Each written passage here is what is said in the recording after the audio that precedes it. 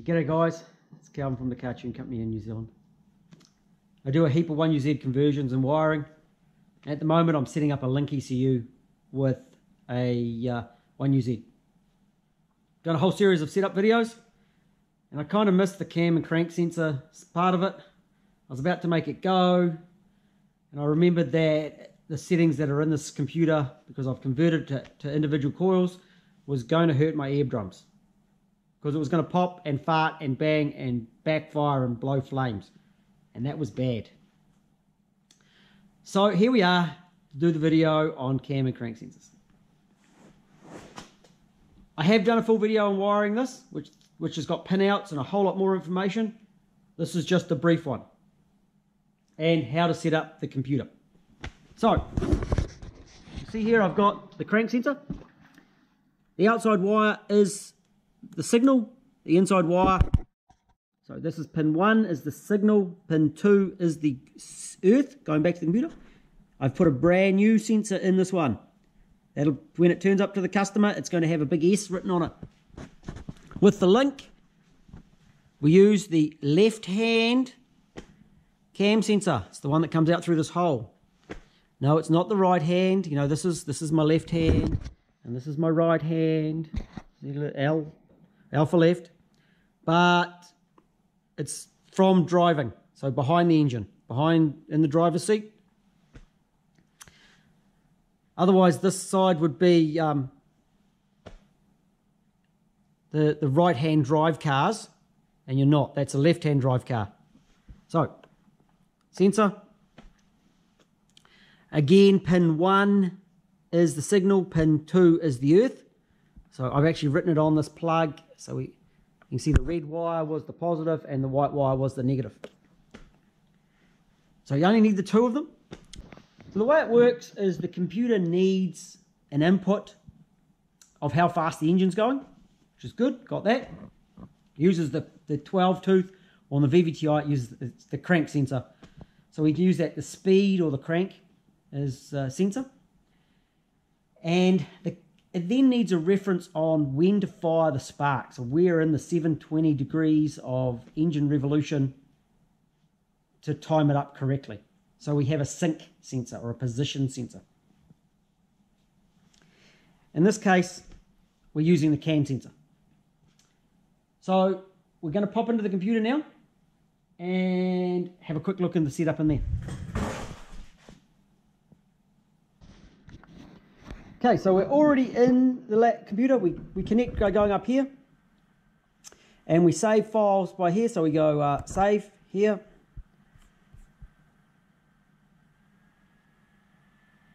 It's because I've been in and out. Um, set up two. Okay, so we're going to go down to the triggers. I'm just going to close some of these up. We're getting a bit out of control here.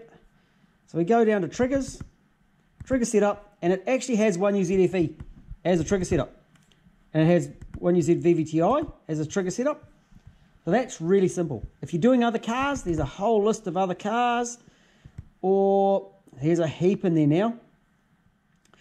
Or you can do like missing multi-tooth or missing tooth, uh, one tooth per TDC, whatever. You can choose different ones. So we're going to go to 1UZFE. Now if I crank that, it would backfire because I put individual coils on it. And here, trig one. It's a reluctor, so that is correct. And there's the voltage it needs to generate before it actually says, yes, we've got a trigger. I have already checked it. And we do have triggers. Reluctor, level 2. So those figures will work just fine. The problem comes down here, calibrate. This will work fine if you're running the factory ignition, the, the minus 4. But for this one, it will not work. So we just click into set base timing. That locks the timing at 10 degrees. Once this whole setup is up and running in a vehicle, no matter how many times you've done it, you should always check your base timing. Because sometimes they catch you out and it might pick up on other problems. This one, individual coils, if I put it on a minus 355, it would be 5 degrees out. I'm actually going to change it to 355 flat.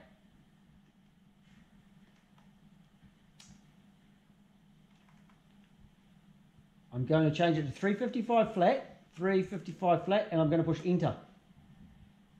And I push done, brings it up, and I'm going to store that to the ECU. And I'm also going to save it over here.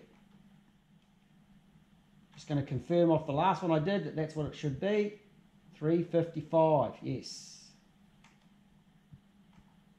Now, it should go. Every, all the other setup is done. Let's have a look. Normally, I would have the fuel pump running from the ECU. This one is a bit different because the fuel pump relay is in the car and the car is in Australia.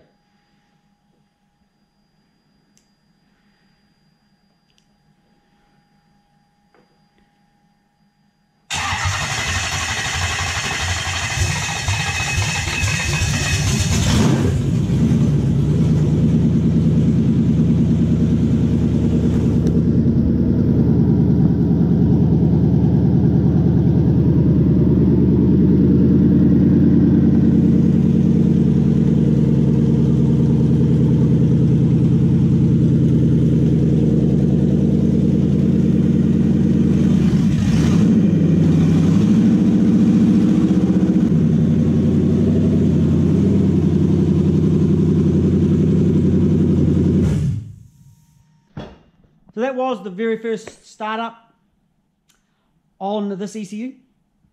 And this whole setup, in fact, I had not started it previous. Um, and that, that actually sounded pretty good for a first startup. Cold start needs some work, which the whole tune needs some work, but not too bad considering. And uh, hopefully you've watched my whole series on this setup. I will try and get the whole video of the whole wiring job done as well. And um, continue on a VVTi next. And we've got a whole lot more things we can do on these aftermarket computers. Try to keep it real basic. So do it, your, do it yourself, guys. Can learn a bit more and be a bit more confident with your aftermarket computers. So I hope that was helpful. And talk to you again. Catch you later.